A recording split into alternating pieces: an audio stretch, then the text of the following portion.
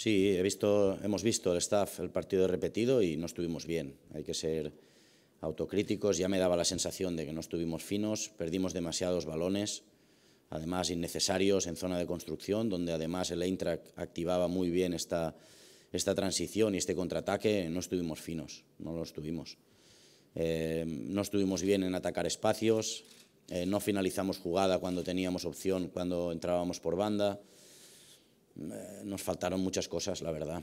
Y aún así, pues sacamos un buen resultado.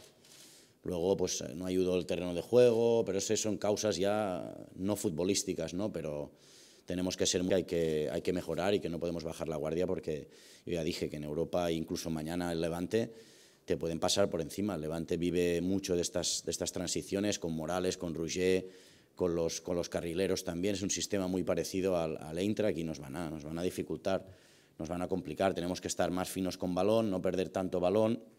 Que desde el club, eh, en primer lugar, veo que, que Usman, ahora lo veía en el entreno, está muy, muy, muy contento. Quizá como nunca lo he visto con sus compañeros, pues que queremos que continúe en el club, ¿no? Esto, esto, es un, esto es lo que queremos, pero a partir de aquí aún queda un camino de negociación y veremos a ver cómo acaba, pero la intención está ahí, sí.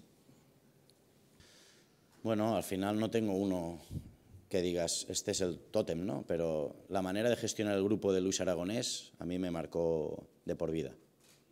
De por vida, siendo justo, siendo honesto, yendo de cara. Para mí fue un máster.